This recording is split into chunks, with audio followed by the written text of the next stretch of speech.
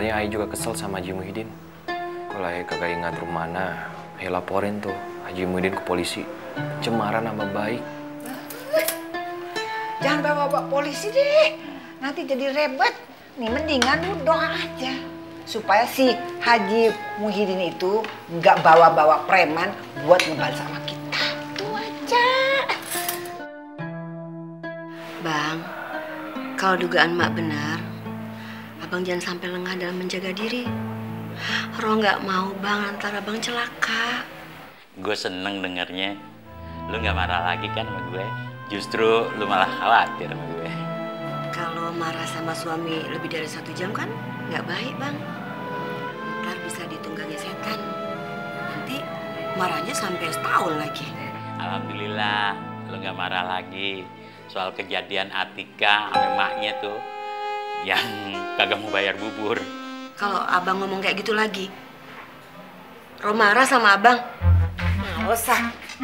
Oh, kamu bagi dah. Lu sih.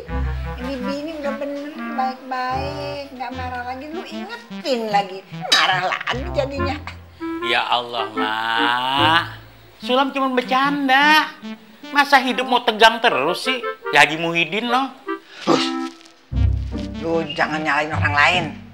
Mendingan lu sekarang baik-baikin tuh bini lu. Udah gitu, terus lu bawa makan deh. Eh, Iya, iya.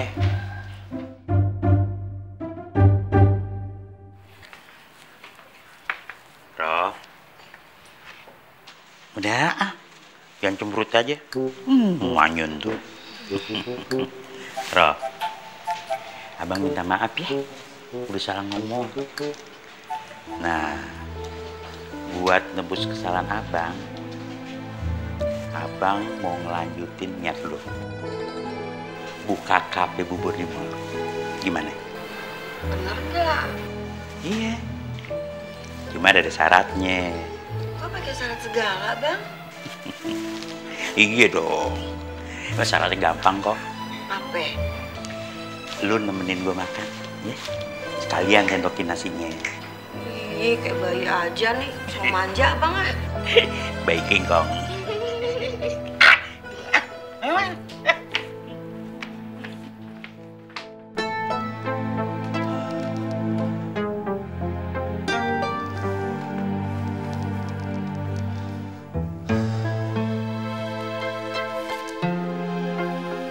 Ramadi, gue lihat dari tadi lu gelisah, uring-uringan, kayak Andi Lau.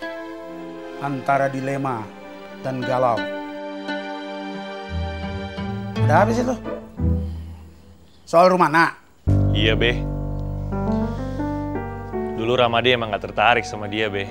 Babe kan tahu. Tapi sekarang beda, Be. Kayaknya sekarang semuanya udah gak mungkin lagi, Be. Nggak mungkin gimana maksud lu? Kayaknya kesempatan saya untuk ngedapetin Rumana udah hilang, Be. Hei duduk dulu. Duduk dulu. Hmm. Ambil napas dulu.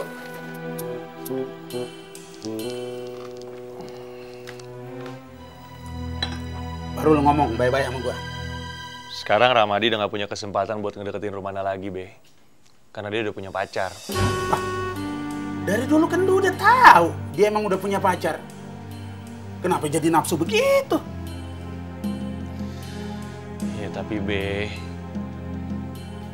Masalahnya Ramadi udah gak punya harapan lagi sekarang. Eh Ramadi, kita ini laki-laki, ya. Jangan mau diremehin gara-gara soal perempuan begitu. Apa yang kurang sama? Jabatan lu ada, status sosial bagus, titel ada. Ya, kalahin dong tuh saingan-saingan. Lu ada di atas angin. Nih, lu denger ya. Sebelum itu janur kuning melengkung layu, kesempatan masih banyak. Lu raih kesempatan itu. Dapetin Rumana. Eh, lu tau nggak? Gue nih dulu nih waktu ngedapetin emak lu nih. Bukan cuma satu laki-laki yang gue hadepin, yaitu pacarnya. Tapi lima laki-laki sekaligus yang naksir sama emak lu. Gue pantang menyerah. Dengan keyakinan gue. Gue gaet juga ibu lu. Nah dapet.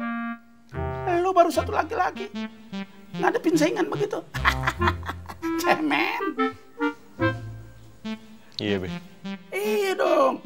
Maju terus, gembur. Pokoknya sebelum janur kuning itu layu melengkung, bendera kuning kagak berkibar di depan rumahnya, masih bisa lu dapetin rumana. Eh, siapa aja boleh dapetin rumana. Paham, Be. Makasih nasihatnya ya, Be. Eh, itu namanya laki-laki.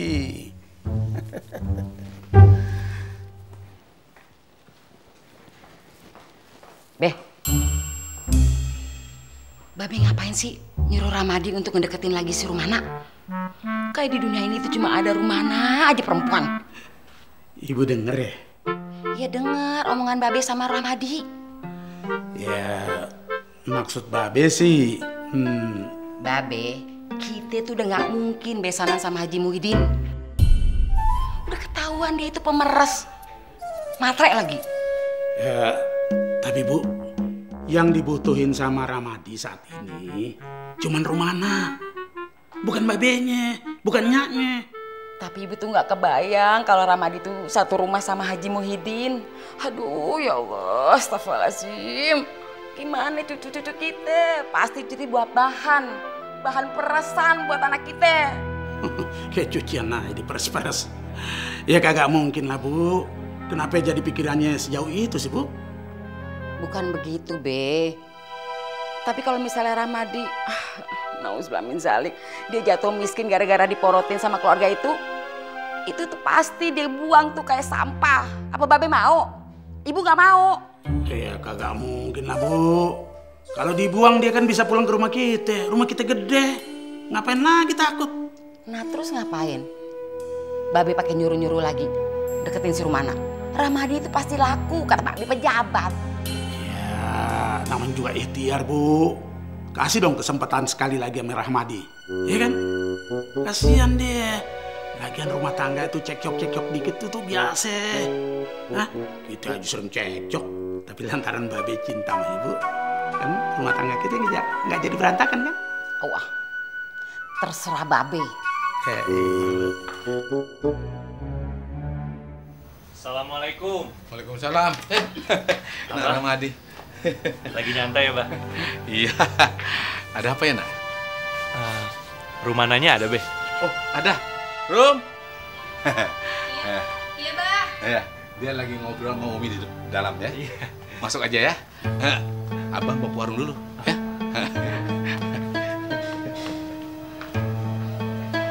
Bang Ramadi. Rum, maafin abang ya. Kemarin abang udah bersikap kasar sama Rumana. Abang akuin, abang emang salah, Rum. Rum mau kan maafin abang? Udah, maafin Ramadi. Rasulullah aja pemaaf. Sakitnya kagak. Iya, Rum maafin. Eh, hari ini rencananya abang mau ngajak Rum jalan-jalan nih. Ah, biar kita bisa ngobrol-ngobrol santai gitu, Rum. Rum mau ya? Boleh kan, Umi? Oh iya iya iya, iya. Umi izinin. Begitu ya, ya. Supaya lebih mengenal lagi gitu. Maaf ya Bang Ramadi, Rum harus masuk dulu ke dalam. Assalamualaikum. Waalaikumsalam. Rahmadi, yang sabar ya. Eh, maafin Rum ya. Dia emang orangnya gitu, mut-mutan. Jadi ya ma Umi minta biar Rahmadi lah yang lebih banyak ngalah ya. Iya, Umi. Insya Allah, saya sabar. Harus.